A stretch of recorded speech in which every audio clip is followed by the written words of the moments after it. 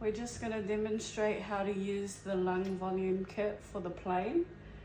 Um, it's a two people job. So one person will hold the mask firmly over Leanne's nose and mouth. And with your other hand, you'll just hold, like kind of pinch the back of Leanne's skull.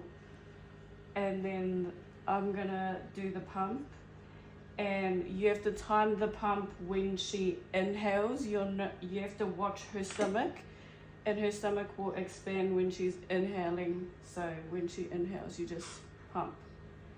And then we also have the oximeter, and it should be above 95 as well.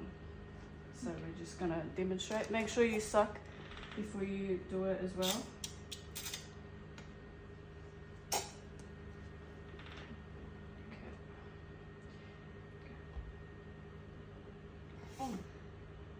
If it makes farting noises, then then you're not doing it properly.